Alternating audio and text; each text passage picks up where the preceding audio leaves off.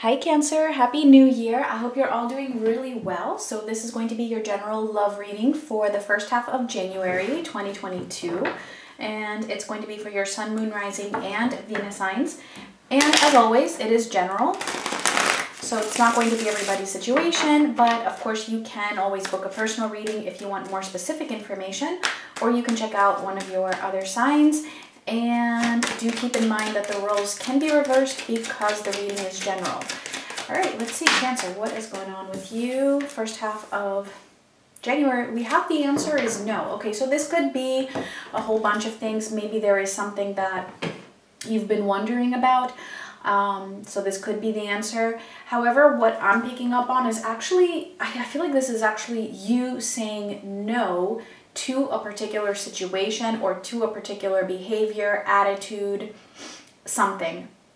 So I feel like it's more of what your answer is to something as opposed to, you know, the universe giving you an answer.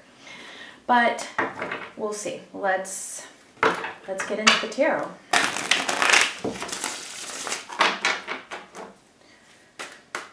right, Cancer, Sun, Moon, Rising, and Venus signs. It could even be somebody else saying no to a particular situation. I don't know why, I just feel like it's you. But again, roles can be reversed, so just take the messages as they resonate for you.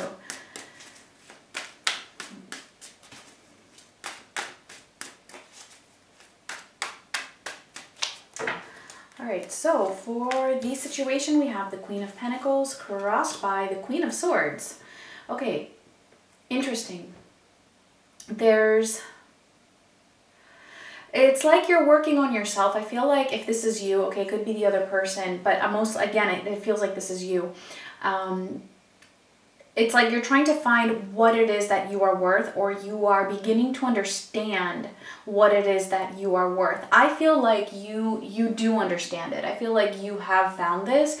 And basically what this the first couple of weeks in january um, is about is about you actually putting those into practice. Like cutting out whatever it is that does not align with you or that is not um, in alignment with what it is that you deserve or with your own sense of self worth. Like whatever is not nurturing for you to pretty much be firm and set those boundaries. And I feel like that's why we also have the answer is no.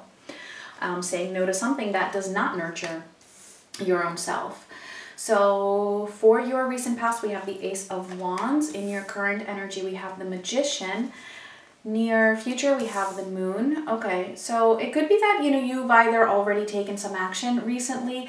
I will see more when we clarify. It could be that you were very passionate about something, wanting something to take off, want, like a connection with somebody, or wanting a certain connection to come back together, like with passion currently it's like you're in this manifesting mode. I feel like you are finding out things about yourself that maybe you did not know before, which are positive and like capabilities, for example, that you have, skills, um, talents, or even if it's just that you have this power, this strength within you to actually set your boundaries. Um, we will clarify the moon for your near future to see what that is about. It is Pisces energy. It could be that there's something you're not sure of coming up. But, oops, one sec. All right, so for another person here, I don't know why I felt like shuffling them again. I usually don't, but that's that's what happened. So we have the Three of Swords in their current energy, the Wheel of Fortune, and coming up for them in the near future, we have the Page of Cups, and the potential outcome, we have the Queen of Wands. All right, interesting. So three queens. Three queens, none of which are um, the water sign, right?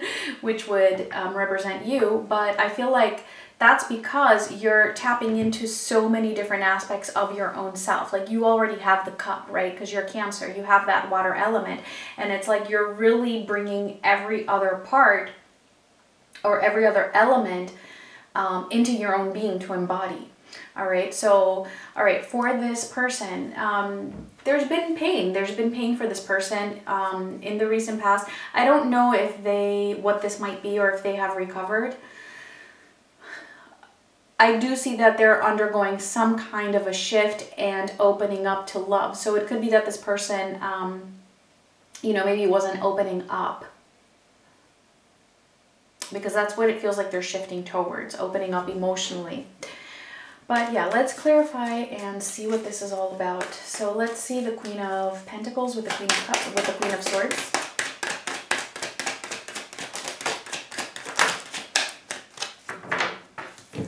All right, then we have the King of Cups, the Four of Swords, and the Hermit. Okay, yeah, definitely, definitely feels like this is what you are doing. I feel like, you know, you do have emotions, right? You have a lot of emotions for this person. I feel like this person also has emotions for you, but it feels like for whatever reason, you are either wanting to take a break or you're you're keeping your distance you're pulling away and again this is happening because you are discovering a lot of things about yourself i feel like there are a lot of lessons that you are learning about your own self and as well as about love and about um, emotional maturity and emotional stability. So, because you are learning these lessons and you are embodying them, you are moving in the direction of setting those those boundaries. So I feel like that is what what is happening here for you. Let's see that Ace of Wands in your recent past.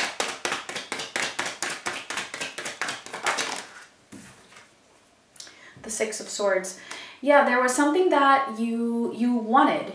You wanted here with this person. You wanted it to take off. You felt that passion or you wanted to bring something back together, but I feel like you know, you you wanted this to happen in a very peaceful way and apparently I feel like it wasn't working out in that way and so you decided to move away from this in order to find your own your own peace basically.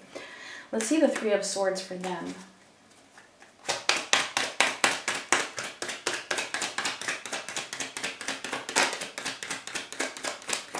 we'll get a bit more clarifiers here because hopefully we'll figure out what, what this is about. All right, Nine of Swords, the Eight of Swords, and the Tower. Okay, wow, that is some pretty intense energy. Again, roles can be reversed, right? So don't forget that. Um, whatever this is, this person has been through something very, very challenging. Um, a lot of pain, a lot of heartbreak, feeling trapped, not knowing what to do, feeling like everything around them is just being destroyed. And to be honest, I'm not 100% sure if this is related to you or if it is a, a different situation that they're dealing with. It could be that it's one way for some of you and then another way um, for others of you, okay? Because this is this reading is general. Um, but definitely this person had something very, very, I, I feel like it was even traumatic that they that has happened to them recently or it could be you know a, a bit further back in the past. Time is relevant so it really does depend. Whew, but whatever this is again it feels like it was something that is actually helping them to learn lessons as well because it's like following this tower right there's this wheel of fortune like something is shifting. That tower is creating a huge huge change and it's coming after some kind of pain and a lot of grief a lot of stress. For some of you again it could be because you you walked away from this possibly. You wanted this to come back, it didn't, or this person was not um, giving you what you needed, or whatever the case is. It's not really being clear right now. The point that's being emphasized is that this person went, underwent a huge, huge tower, a lot of pain, and is now learning from that. All right, let's see this Wheel of Fortune for them the shift.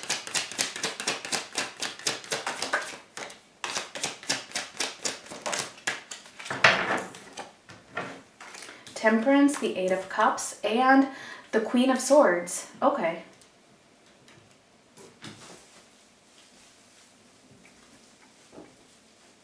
So again, it's going to be different what what was going on here for each of you, like the specifics. But I'm getting that whatever whatever behavior it is that they were engaging in, it's like they're learning how to um, temper that, like how to find the middle ground. I feel like they're walking away from anything that was um, extreme or anything that was not serving them, anything that was not in balance, like it was just functioning at either one extreme or the other. And again, it's coming in as a huge, huge lesson here. And with this Queen of Swords, there's a lot of clarity about what that was and what it is that they need to move away from in order to find that balance, that healing. And for some of them, I mean, it might take a little bit of time, but it's happening. Like the that wheel is turning. Things are shifting.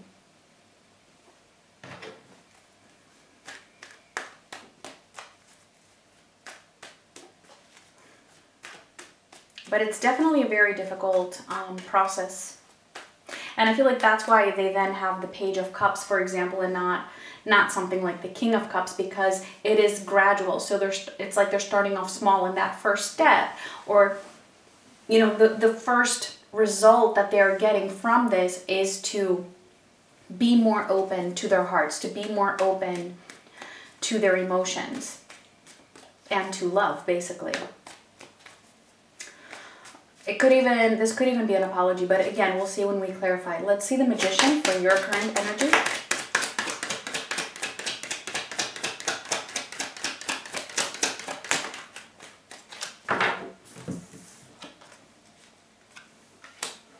All right, the Hanged Man, the Knight of Pentacles, and the Empress. Yeah, see, so this is actually, this is actually a shift for you as well. It's just this shift for you is happening more in disguise. It's like with this hanged man, you are actually taking a step back. I feel like you, what you're doing is you are distancing yourself from the situation. And because you're doing that, you're able to see it from a completely different perspective. And not only that, it's like you're seeing yourself from a completely different perspective. It's like you are really in touch with this feeling of you know, this was whatever was happening was not fair for me or just more than anything, really, like I said, embodying so many aspects of yourself that you didn't even know that you had. Because when I was talking about all these um, queens showing up for you, especially the, the elements that are not um, in your energy naturally, right? Um, I was thinking about that Empress. Because the Empress embodies all elements of all the queens. And then here she is showing up in your current energy. So it is a process, right, with the Knight of Pentacles here. But, and it, it might be also moving a little bit slowly for you as well, especially with the Hanged Man and the Knight of Pentacles.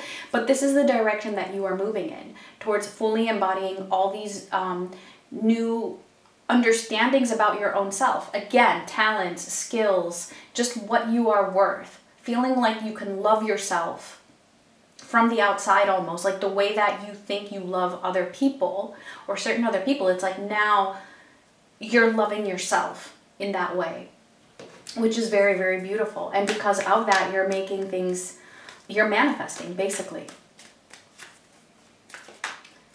This is very, very positive for you. And again, you know, and by doing that, you're saying no to certain things that are not in alignment with that. Let's see the moon for what is coming up for you. Let's see what is that moon about.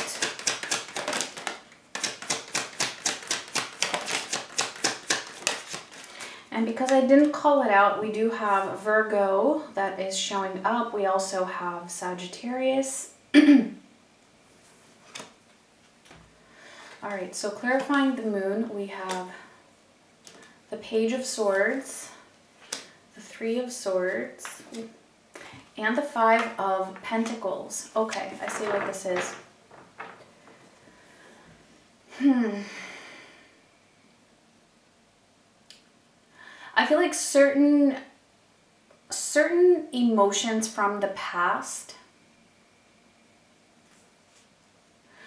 are going to be coming up to the surface. And it's, but the way that I'm seeing this is you pretty much being like an observer, which I feel like you're already in that kind of a space. And so it feels like you're going to be like observing your, you know, the pain that you have carried. Um, possibly abandonment, either from the past or from this from this connection. And I feel like that is going to be coming up, but it's not going to feel so painful. It's more of you kind of like exploring that. I also, what I'm getting here is that you, you might not really be aware of what this other person is actually going through. Because they had that, um, they have that Three of Swords. So I feel like you're not really aware of that of the pain or of what how bad it was what they went through when when there was this pause between the two of you. Let's see the Page of Cups for them.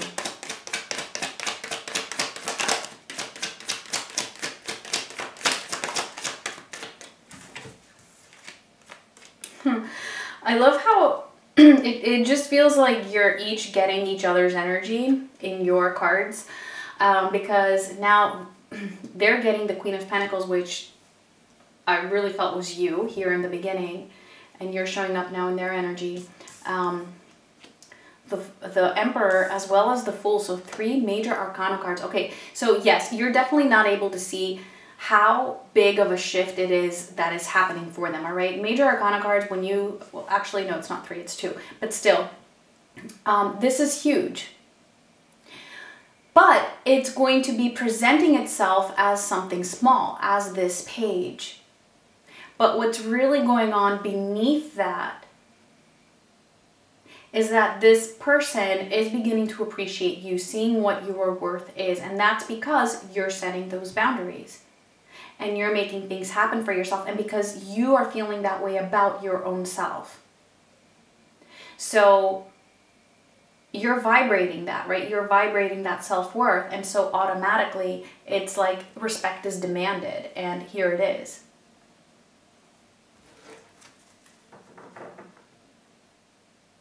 So that's number one. And then number two, it's like this person is, is taking a huge leap here. They're showing up as this page. So it could be, it could come in the form of some kind of communication, opening up a little bit emotionally. Um, it could take the form of an apology. But like I said, underlying that though, there's this person is moving towards being this emperor and it's like they're they're in the beginning of that journey moving in that direction also finding their own self-worth at the same time.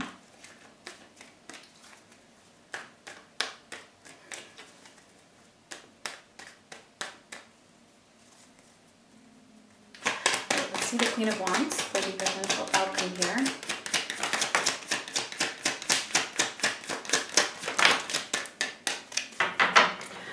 Okay, and we have the Seven of Pentacles as well as the Six of Wands. Okay, so I feel like, you know, you're just going to be very, very desirable here. You're going to be so confident. It's like you're going to be desirable even to your own self. it's like that much to the point where I feel like you know, it's like these steps are being taken, the seeds are being planted, moving you towards this success, winning, moving you towards this winning type of an attitude a winning type of a situation. And it's like you're really manifesting that and bringing that in.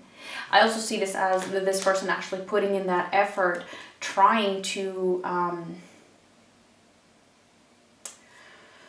really trying to be successful at winning you over, basically. So yeah. All right, Cancer see if this resonated. Let's get the final message for you.